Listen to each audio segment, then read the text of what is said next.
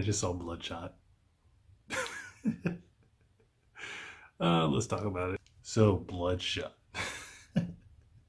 Man, this is a weird movie. Finally got to see this movie, and it's been a while. It took me a while to see this because, you know, I was going to go see it in theaters. That was actually one of the last movies I was going to go see in the theaters before this whole thing happened, right? But I didn't get the chance to see it, so it took me a while to go see this. They finally released it on uh, VOD, and I picked it up, and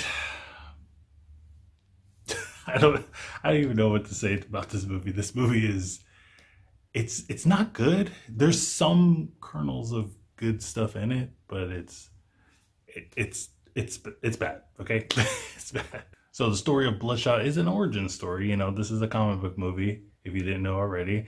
And uh, it's based off the character Bloodshot. And it tells the story of a dead soldier who is now filled with some nanites that basically makes him invincible. So every time he gets shot or punched or pummeled or crushed, he pretty much regenerates.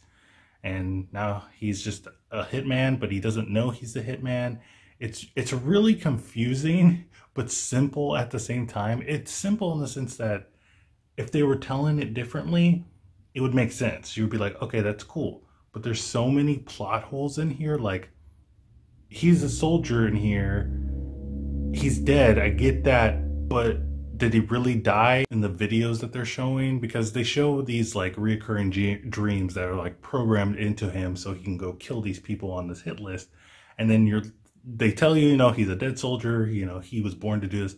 But then you start thinking, wait, how did he die? If this is just a recording of his supposed wife's death, the wife is real. Spoilers.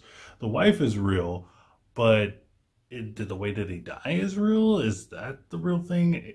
Who knows? But in the beginning of this movie, I, I was kind of like thrown off because the villain, the first villain that they show, because there's like multiple villains that do that look the same. It's weird. Watch the movie if you want to know what I'm talking about. But he looked like a little dicky to me. It was it was re- weird, and I was like, okay, I can see why he's a villain. I can see why you would want to kill him. I mean, looks like little dicky. I, I get it, but I would say the main problem with this movie is the editing. It takes some really weird editing choices. I don't know. There's like random slow motion scenes, so it makes it look like it's Matrix for some reason. We're like, is this early 2000s? I thought we are in 2020. And then they'll do some like fade to black scenes where it's like, I'm Vin Diesel, you took my life from me, fade to black. And then they turn and it's like, yeah, I took your life away from you, but um, I'm sorry, fade to black.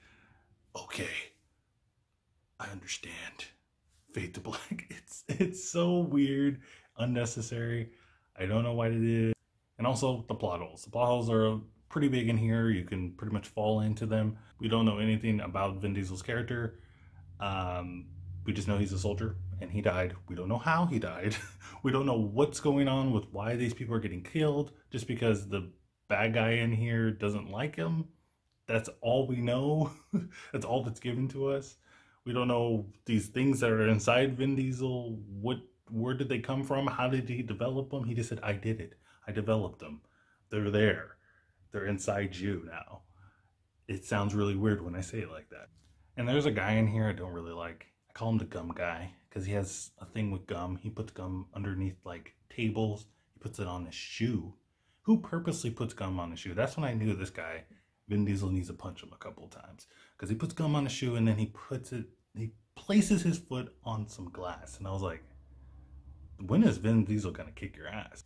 But those characters are just uh, forgettable, annoying. Um, there's a girl in here. I, am not to even give the actress name. I know it sounds mean because it, it's not worth your time to know who's in here because it's Vin Diesel, Guy Pearce, and the guy that plays Wedge. That guy, that guy's cool. That guy, when he's introduced in here, the, the movie goes from a zero to a two. So there's also some like weird dubbing in here. Like they recorded the movie and then they were like, ah, oh, that doesn't sound right. Okay, let's do some voiceovers and they'll put it in there because there's scenes where people are literally talking, but it's like, and, but they're saying stuff. They're like saying text, or they're not saying text, but they're saying stuff in here, and I'm like, their mouth's not moving. but yeah, guys, I I don't know, I don't know about this movie. It's I, it's not. I know people say it's a lot. It's not as bad as I thought it was going to be. It's just boring, and I think that's worse. But guys, let me know what you think of Bloodshot in the comments down below. Don't forget to like, subscribe, and um, check out my Letterboxd. I'm doing written reviews over there. Go check those out if you're into want to see some more input into my reviews, more information into my reviews, uh, or, or just more information about me. Also, check out my Twitter so you can stay up to date with my channel. And as always, guys, keep watching movies.